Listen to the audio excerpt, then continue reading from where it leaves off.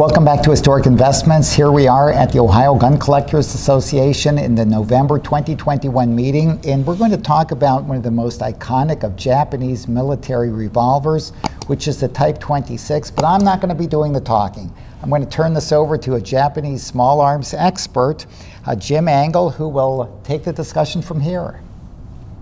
Thank you, Lan. Today we're just going to discuss two different variations of the Type 26 revolver. We have your standard production, your early gun here with the rust blue, fire blue parts, and then we have a limited modified Type 26 that was made in the mid 1930s along with a few of the accessories. Uh, the revolver was designed in 1893. Production got underway in 1894 the very first pistols that were made, the bluing finish is actually what is called a charcoal blue, which is very similar, if not identical, to the very early Colt 1911 pistols. It's an expensive process, and usually when you see these pistols, the bluing is flaking. It's, uh, it's not in very good shape. This particular pistol is, is in fine condition. Your small parts, the hammer, the trigger, and the pin here usually have a bright fire blue or a crystal blue. Grips are made of beech. The engraving serial numbers and the type designation are finely stamped on the early guns. It wasn't until approximately 20,000 serial range where they went to a little bit deeper stamp. The Disassembly of the Type 26 is you pull the trigger guard rearward, it unlocks it, which allows the left side plate to open up over the grip. That uh, exposes the mechanism on the left side. That's how it's disassembled. Type 26 were manufactured up until 1923 in the Tokyo Arsenal. In September of 23, there was an earthquake, destroyed most, if not all, of the arsenal. Production ceased at that time. They were phasing out the Type 26 anyhow because they knew that the new design, which has uh, turned out to be the Type 14 pistol, was on the drawing board.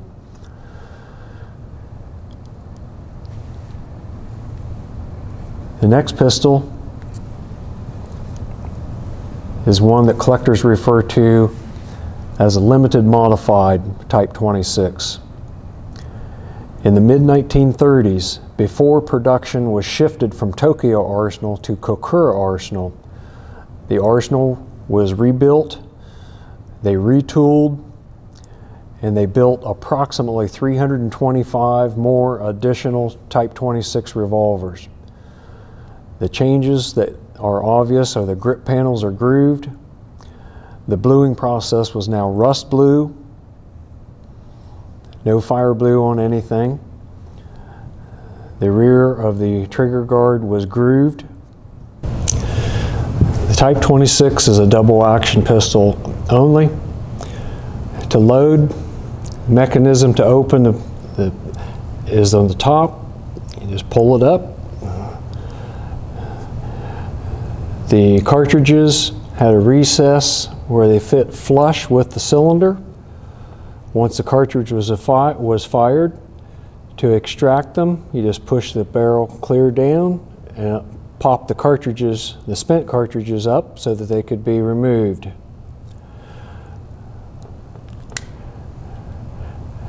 To get inside, look at the mechanism inside, you have to push forward and pull down at the same time on the rear of the trigger housing. The side plate then will open up, which reveals the inside of the mechanism.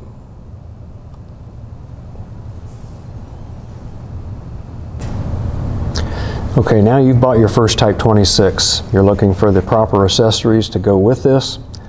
First thing you want to look for would be a holster. All Type 26 holsters are going to be leather holsters um, a variety of, again, the hardware. Your earlier holsters are going to be brass, brass D-rings on the rear for a shoulder strap, but the configuration would be the same for these holsters no matter if they were early or if they were produced late in the war. Just the late war hol- holsters would have steel hardware. Most of the time it was painted. On the interior is an ammo pouch that held 18 original rounds of ammunition in the pouch. On the side was a pouch for the cleaning rod. Cleaning rods for the Type 26 are very scarce to find. Original rods basically all look like this, brazed at the loop.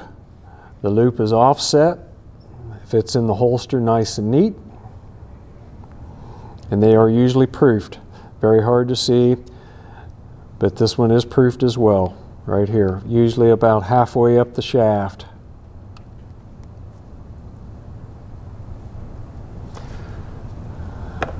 Next we have a lanyard for the Type 26 revolver.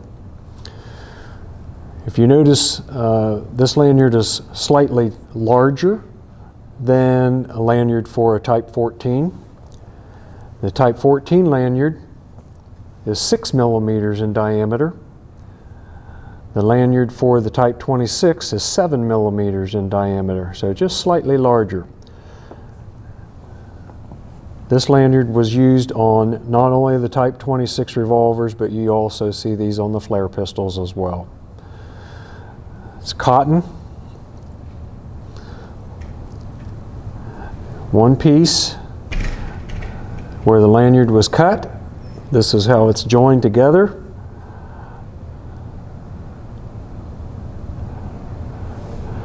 Has a sliding keeper so it could be adjusted on the soldier's neck.